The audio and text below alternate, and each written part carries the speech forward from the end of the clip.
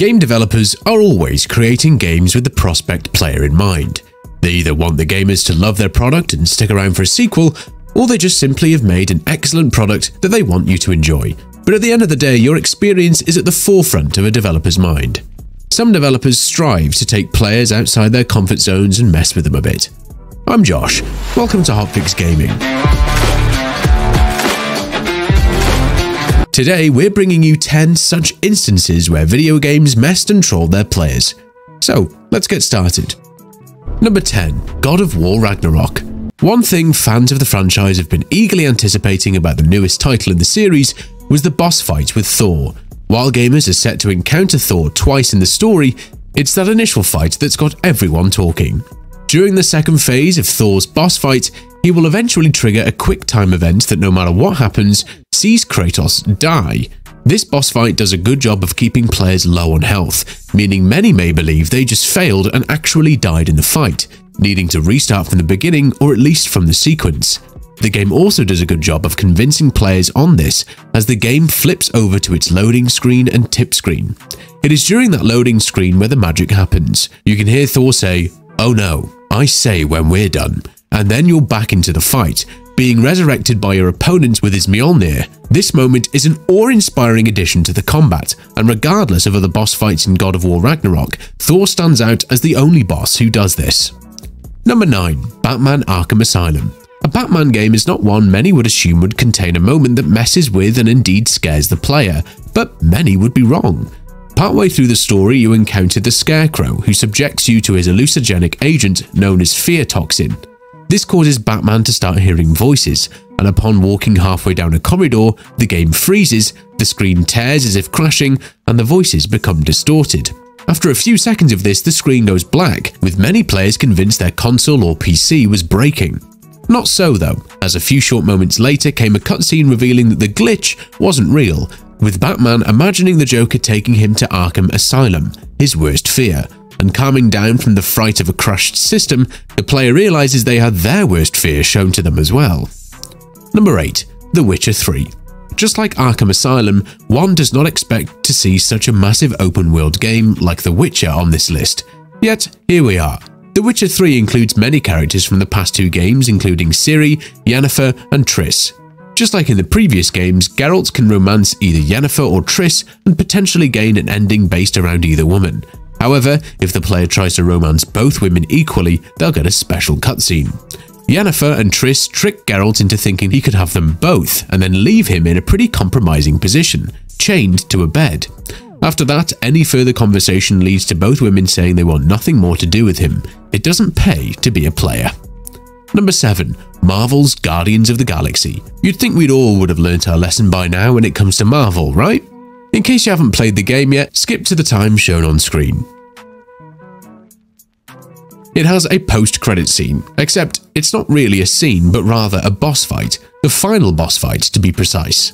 As the credits start to roll and players think all is well, various names in the credits begin to glitch out and get replaced with Magus, which triggers the last boss battle, and then after the boss fight, there's another post-credit scene. 6. Eternal Darkness Sanity's Requiem Eternal Darkness Sanity's Requiem is a psychological horror action adventure game developed by Silicon Knights and published by Nintendo for the GameCube. One of the unique features of the game is its sanity effects, which are designed to mess with the player's perception and create a sense of unease. Some of the ways in which the game messes with players includes the sanity meter, which decreases each time the character encounters enemies, visual distortions like the screen warping, strange camera angles, as well as audio disturbances, all to make it that much scarier. But probably the most notable way in which the game messes with its players is through its fake game crashes. Every once in a while, the game would simulate technical issues like fake error messages, volume adjustments, and even pretending to delete the player's saved file. But that's not all. The game can also manipulate the character directly. For example, it might decapitate the character, only to reveal shortly after that it was all an illusion. And if you're enjoying this video so far, make sure to hit that like button. Anyway, back to the video. Number 5. Doki Doki Literature Club Doki Doki Literature Club gives off the appearance of an anime-style dating simulation game, but it likes to mess with gamers in a similar manner to our previous entry. Players can pursue one of the three available girls, Sayori, Natsuki, and Yuri. Spoilers for anyone who hasn't played through the game, but in reality the game is a psychological horror game that breaks the fourth wall. The game presents dark and disturbing subject matter the longer it's played and seems to have a mind of its own, and it sort of does, as it glitches, restarts, deletes save data and more. There are multiple endings, which require multiple playthroughs, reinstallations, and hard resets. Number 4. The Stanley Parable the Stanley Parable is designed to confuse and frustrate its audience. Initially released in 2013, the game lets players control the titular character Stanley as he explores what has happened to his colleagues who have mysteriously vanished.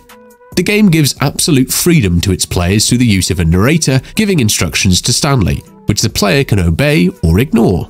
Doing either can lead to unexpected results, with the narrator commenting directly on actions taken through the fourth wall breaks and attempting to lead the player down certain paths.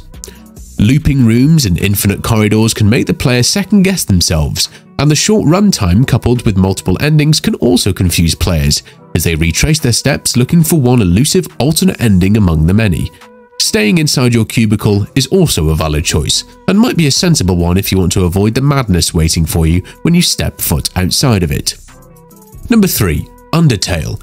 If you go into Undertale without knowing anything about it, you'd think that it's your typical turn-based RPG, where you have to kill enemies in order to collect that all-important XP. But what separates this title from others is the fact that it completely flips the entire concept of XP on its head. As Sans later explains, those aren't actually experience points, they are execution points, and you actually didn't have to kill any of the characters you've encountered. If that is not enough messing with the player's head, then just know Undertale also messes with saved files and even breaks the fourth wall on multiple occasions with the likes of Flowey making comments about your actions, saving and reloading. Number 2. Legends of Zelda Breath of the Wild The large open world of Hyrule in The Legend of Zelda Breath of the Wild is covered in Koroks and Korok Seeds, collectibles for completing puzzles and reaching difficult places like mountain tops.